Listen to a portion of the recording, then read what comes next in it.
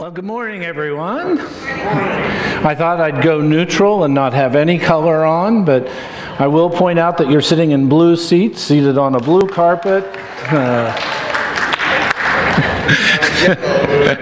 we have had so much fun. Started last weekend. If you weren't with us for Easter, we started what we call Color Clash, and we're uh, we're broken into teams. You should have got cards. If you didn't get uh, cards, make sure you get some on the way out. And and the whole thing is that we're really just having a blast, and uh, we're trying to invite new people to church through this activity. And so I hope you will participate with us. This next three weeks, we're having a conversation about a very provocative uh, statement a Christian atheist. Sounds like an oxymoron, and because that what it means is we follow God, but don't believe in God. That's the literal translation of it. But but what it also might mean something is that we're missing something, or that the way we are responding is missing the mark. Now, next week, as we continue this conversation about Christian atheists, we'll talk about fearing God, and the third week, we'll talk about trusting God. But today, we want to talk about the basics. Do we really know God? Do we understand and believe what it meant when Jesus rose from the dead? Or, are, like Thomas, are we questioning that journey? Well, today we want to have a conversation about knowing God. Let's pray. Lord God, as we came in today and listened to this music and just the beautiful blend of our our servants of music and uh, the instruments and the voices and how they blend together, we can feel your presence in this place. And yet, there are times where we're far from that. And what we need from you, Lord, is uh, a, a closer relationship. And today, as we talk, may that become apparent. May your words uh, from Scripture and your life be an example to all of us as we share together and what it means to know you. In Jesus' name we pray. Amen. So I think one of the biggest problems is that many of us accept God from others. We understand, we get our lessons from God from someone that taught us. And it's, it's really not unusual because if you think about it, if you grew up in the church, that's the way it started. You came in uh, to Sunday school and someone talked to you about God. Somebody uh, told you what God was about each Sunday. And, and kind of, and for that matter, at least when I was growing up, we got the good stuff. We never got the bad stuff. And it was all this, and so there was one sided conversation. And so we were brought up in this manner of, of being told who God is without having uh, any other background behind that. And so uh, I, I think it's kind of like this. Last weekend, my mother in law had me watching Chip and Joanna Gaines on Fixer Upper. Now, what happens is, is we watch sports TV, and if we happen to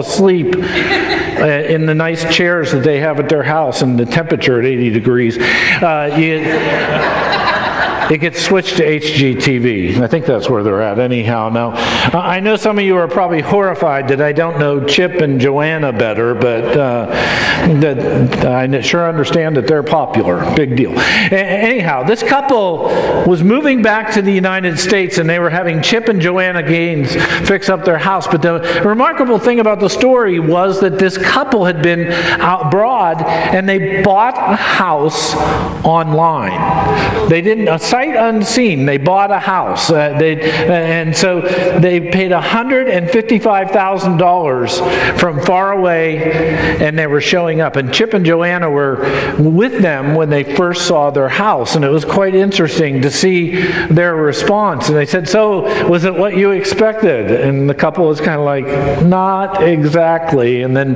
the great camera shots of Fixer Upper, you know, they're showing some rotted wood over here, and, you know, like the door, the door of the house was like over here instead of right smack in the center. It wasn't exactly what they expected. And that's what some Christians, including myself for a lot of my life, uh, are like. We grew up being told who Jesus was And, and to be do to, and to be good Christians to do this, this, this, and this, or believe this, this, this, and this but never a conversation about relationship. And so we went through life without ever knowing God personally. Oh, sure, there were those special moments along the way. We had a baptism this morning, and, and Harrison was baptized, and it was just a heavenly moment. It was beautiful. And, and so those are one of those moments. And, I think that's because God is always trying to woo us into a relationship. God is always, that prevenient grace is always there drawing us in. Is what God wants to do. And so those moments are there, but we don't. The fact is that He sent Jesus for this very purpose. For the Son of Man came to seek out and save the lost. God, Jesus came that we would know God. But for many of us, there was never a relationship.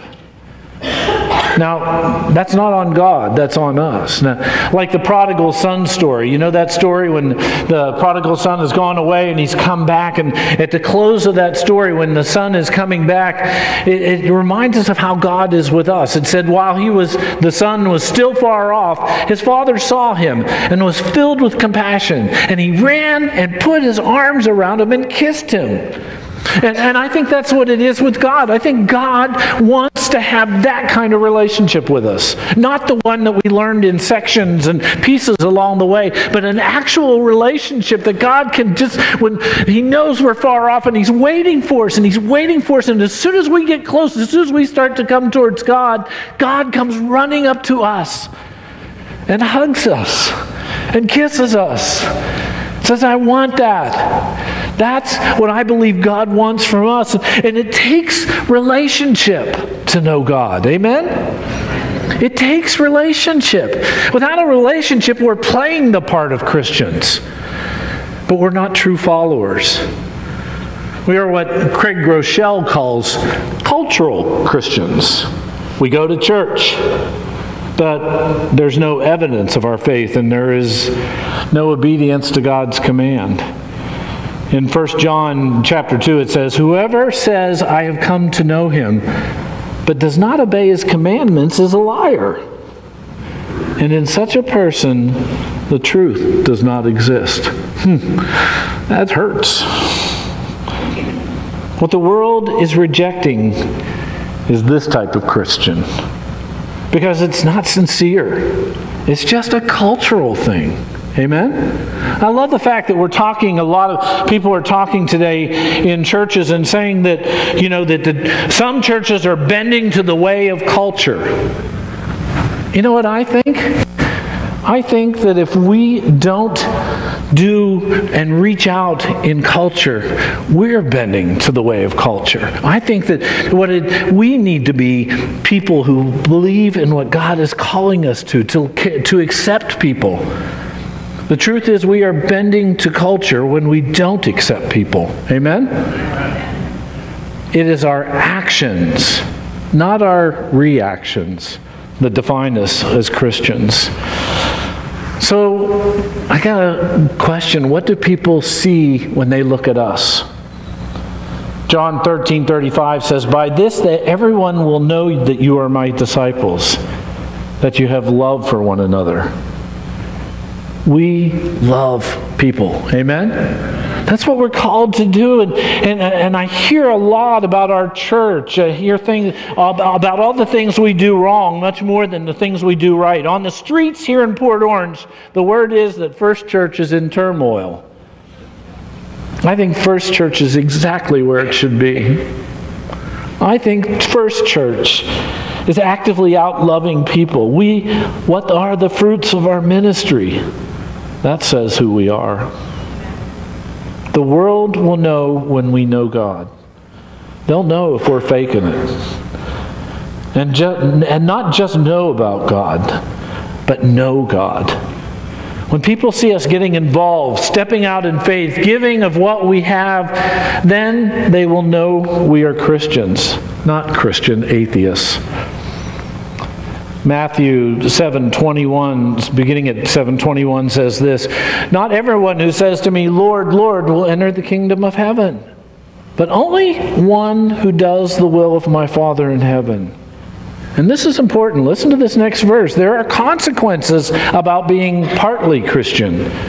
On that day, many will say to me, Lord, Lord, did we not prophesy in your name and cast out demons in your name and do many deeds of power in your name?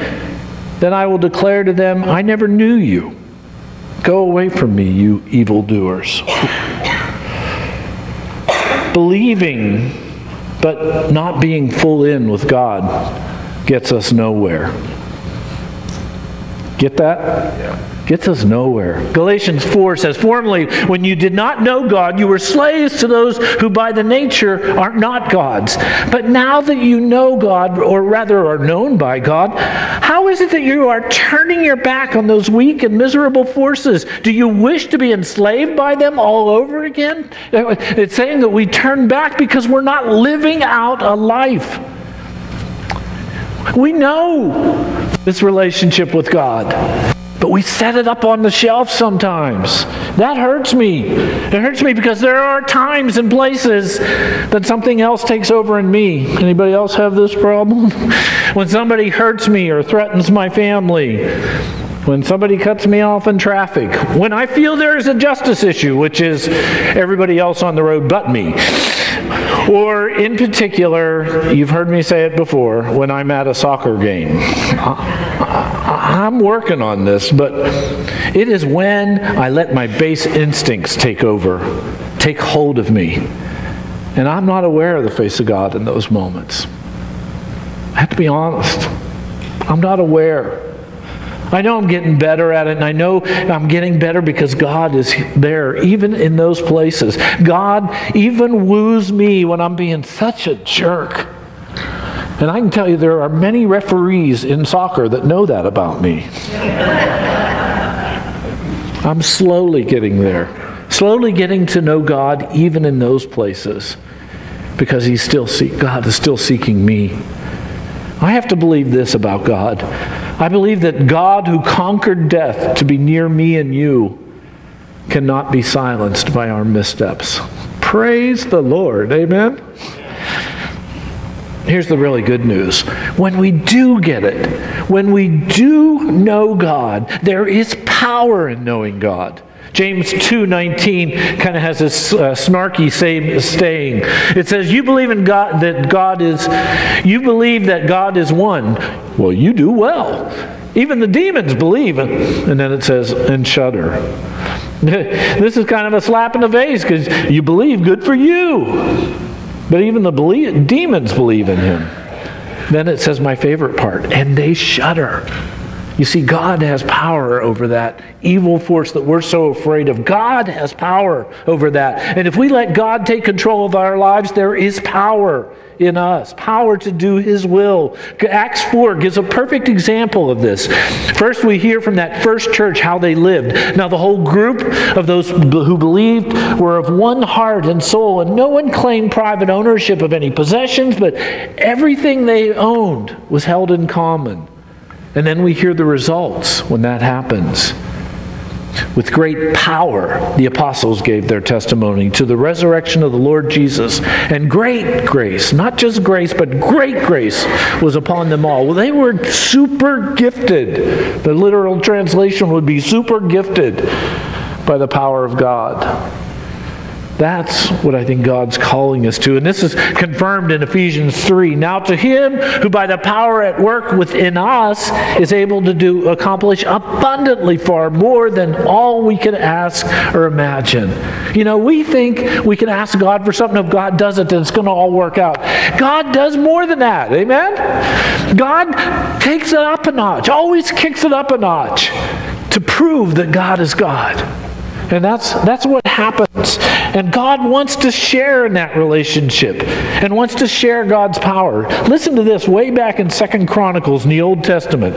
It says in Second Chronicles 16:9, "For the eyes of the Lord range throughout the entire earth to strengthen those whose heart is true to him." God is looking for us.